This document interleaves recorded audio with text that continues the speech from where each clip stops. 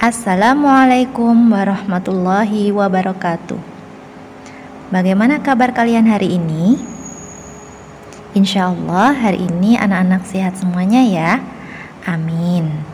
Nah, sebelum belajar, kita baca basmalah terlebih dahulu ya. Bismillahirrahmanirrahim.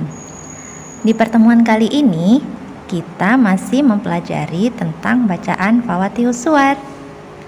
Fawatihus suar atau huruf mukoto'ah ialah huruf-huruf yang berada di awal surat. Disebut fawatihus suar karena sebagai pembuka surat dan disebut huruf mukoto'ah karena membacanya huruf per huruf. Huruf mukoto'ah Alif, Lam, Mim, Sod, Ain, Sin, Qaf, Nun, Kaf, To, Ha, Ro, Ha, dan Ya adalah huruf mukoto'ah.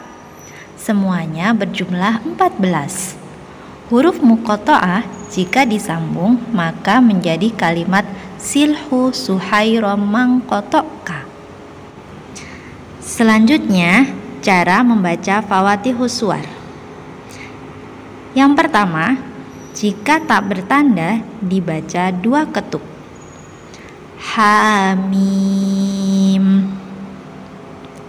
Yang kedua, jika berlayar dibaca enam ketuk. Nun. Yang ketiga, jika berlayar dan berakhiran n di tengah dibaca tujuh ketuk. Ain sin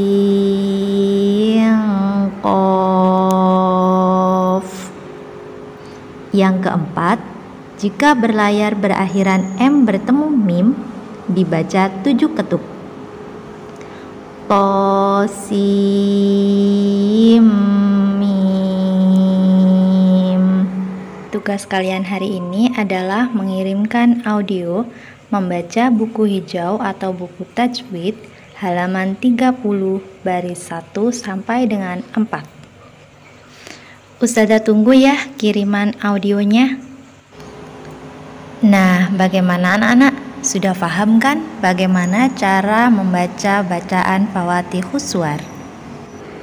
Mungkin itu saja yang bisa Ustazah Reni sampaikan hari ini. Kita akhiri dengan membaca hamdalah.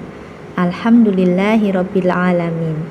Ingat pesan ustazah, selalu sholat tepat waktu, hormat dan patuh kepada orang tua, membaca Al-Quran setiap hari, belajar di rumah, dan selalu patuhi protokol kesehatan. Ustazah Reni akhiri, wassalamualaikum warahmatullahi wabarakatuh.